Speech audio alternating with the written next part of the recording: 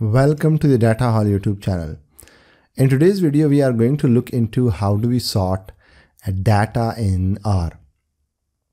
Uh, so let's dive into it. Uh, so we need to install a package called tidyverse. So you, you use install.packages and then the name of the package. I have already installed it, so I'm not going to install it again. Uh, we are going to load this package in our environment and for that we use library and then the name of the package so I'm going to press control enter so that we can load this package. now, whenever we, uh, we work uh, in R, we have uh, uh, we, we already have certain data sets that come preloaded with, uh, with R. Uh, so I'm going to use this mtcars data. It contains mileage, etc. data related to certain cars. So I'm going to use data and then within the data function i'm going to use the name of the uh, data package that i'm going to uh, to use in my uh, in my video. So we have different cars their mileage their um, uh, other other mayors right? Okay so uh, so let's uh, let's let's narrow down this this data set. So we use select and in our previous videos we discussed that select is used uh, to uh, to filter columns to se select certain subset of columns. So instead of having all these columns and not being able to understand uh, what's going on with the data, I'm going to reduce the number of columns and just select the gear and the mileage. So for that we use select.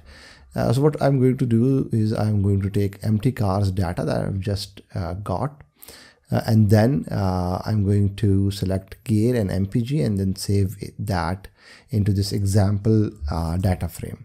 So we have this example data frame and it just contains two variable which is gear and mileage. Further what I'm going to do is uh, take this example data, data frame and for the first to second row so this is the row and this is the column. So for the first to second row for the mpg column i'm going to replace the first two values with na and na stands for missing values in uh, in r. And what why i'm going to do this because i just while we go through this process i just want to see uh, when we sort the data, what happens to the missing values? I mean, what is the behavior of missing values when when we sort uh, data? So I just uh, I didn't nothing, but just the first two values were um, were converted into missing values. So NA stands for missing in R. So let's start with it. Uh, so we have different ways of sorting data. We have this dplyr, which comes from the tidyverse package uh, this again is a subset of package within the tidyverse uh, realm. And within this package, there is a function called arrange. So that is used to sort data. And then we have certain base uh, R package and what base R packages or functions are, uh, not just not packages, but rather functions. So what base R functions are, these are the functions that come preloaded with, uh, with R. So uh, so, so whenever we refer to base R, that means that the packages that uh, had been installed when we installed the R on our machine. So let's uh, first work with the tidyverse arrange function because this is the simpler one. So we can sort it in uh, data in ascending order. What we do is we write the function name. Then the within the parentheses, the first parameter is we give it uh, the name of the data that we are going to use. So we are going to use this example data set. And then uh, which column do we want to uh, arrange? I mean, which column do we want to sort based on? Uh, so we are going to sort based on uh, the values of the mileage column. And that will uh, arrange the data or sort the data based on mileage in ascending order. So let's perform this and it would create a new um, data frame which would be A1 so we can look at A1 and we can see that it had been arranged based on mileage not not based on gears but because you can see these are in random order but based on mileage it had been uh, sorted and we can see that the missing value would come at the end of the data. So that is the uh, that is the uh, behavior of missing values when we are going to use arrange so whether we uh, arrange the data in ascending order or descending order, uh, the missing value would always end up uh, at the end of the data. So uh, in this way, we we we used the data set within the arrange function. But remember, with the tidyverse packages, we can um, you know we, we we can use the example. We can take the example data. we can like the, we can write the same code in in in this way right so uh, what we can do is we can take the example data and then we can arrange uh, it on the basis of mileage so the first argument which is the data set had been omitted and uh, this arrange would by default take this example dataset as the first argument so whether you write this code like this or in this way they both would work the same way. And for, that is the reason i have saved them in different uh, data frames. So what we can do is we can compare them side by side and you would notice that they both are same. So whether you use this code or this this works exactly the same. So you can either write uh, the data as the first parameter of this arrange function or you can take the dataset and pipe that data into the arrange function we can also sort data based uh, on descending in descending order. And for that we just have to use a minus sign or uh, we can use descending function. So that works exactly the same way. So now we have data in descending order. Remember whether we sort it in ascending or descending missing value would always be at the end of the data. So that's using the descending function and that's the same thing as using the minus sign right uh, we can also sort based on multiple criteria. So in this case, we are going to sort our data based on gear and then uh, within each category of gears, uh, we are going to sort on the basis of mileage. So if uh, so, so we are using multiple uh, criteria sorts and you can see that it's sorted based on gear and then within gear it's sorted based on uh, mileage. So you can see that from here on the mileage had decreased because this is another category of gears. We can also do uh, one uh, variable in ascending order and the second one in descending order. So the gear would be in ascending order uh, and the mileage would be in descending order right? So you can see that each gear have a first would have a highest value and then it would decrease uh, from there on.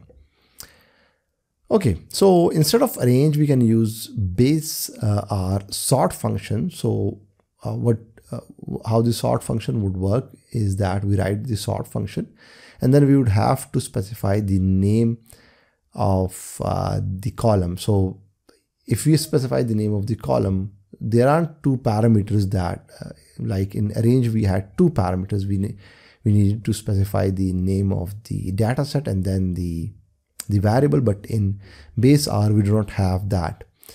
Uh, what we do is we write the name of the data frame. This is the data frame.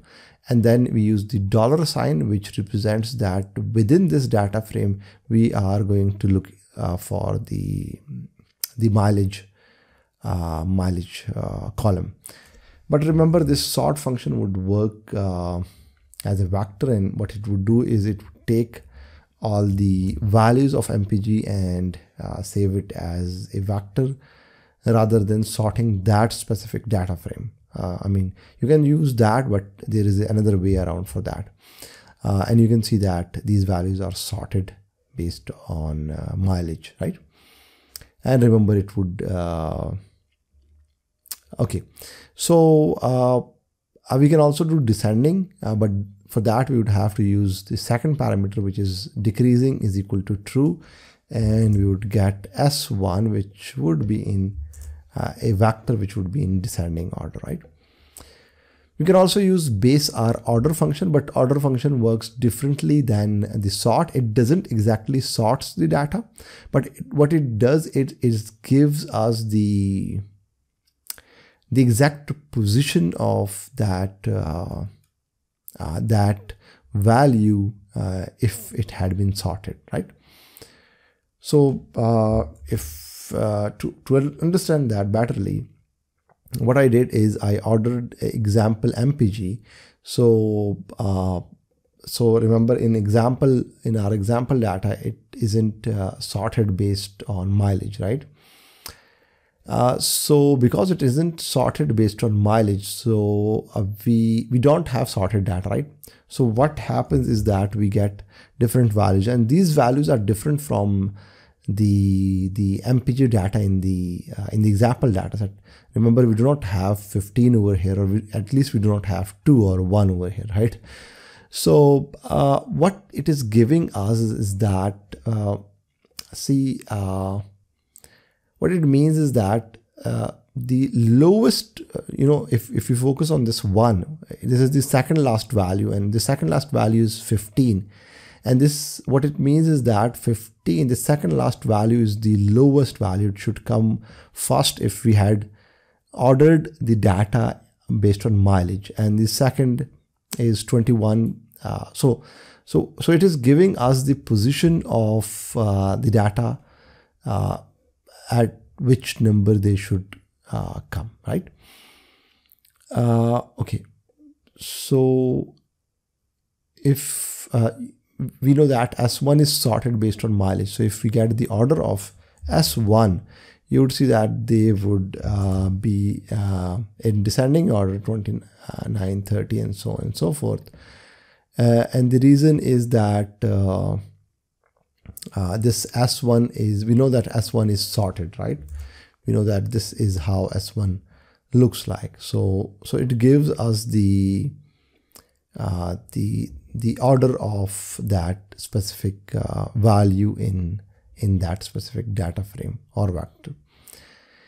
Uh, we can take these uh, this order function and put it in the example data frame uh, so what it would do is it would take the order of the example data set and based on that order it would sort the example file. So we, we haven't given the the column parameter.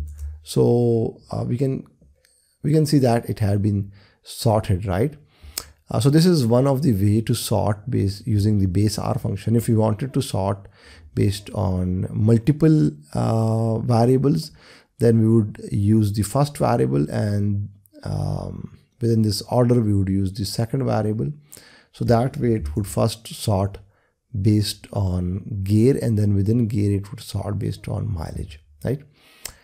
Uh, we can do reverse order and for that we would use the reverse function. So now it would be sorted in reverse order based on the mileage parameter. Now in this case they would give us uh, missing values is top but but what i was referring to when i said that missing value would always come at the end. I was referring to the uh, to the arrange function when you use the arrange function.